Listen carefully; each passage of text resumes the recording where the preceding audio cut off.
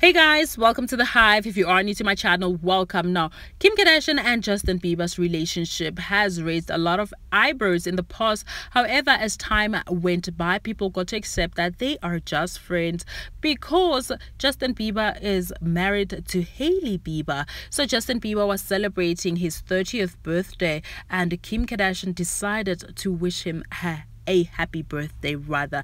So Kim Kardashian and Justin Bieber go way back, like way, way back when Justin Bieber was still a teenager and now he is a fully grown man.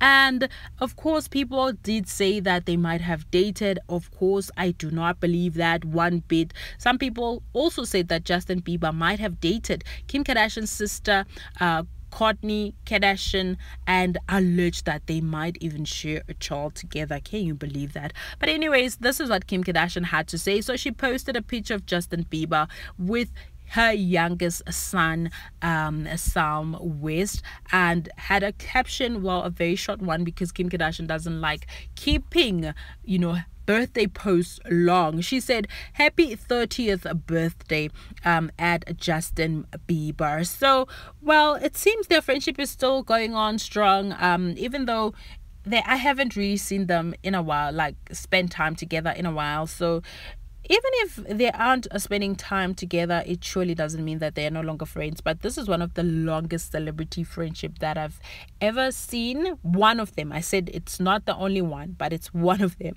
Anyways, you guys, what are your thoughts on this one? Uh, do let me know in the comments section. Thank you so much for watching. Do not forget to like, subscribe, uh, click on the notification bell for more entertainment, more gossip, more news. Stay tuned. Kindly subscribe to my channel. Click on the post notification and uh, please give this video a like and I'll see you guys soon.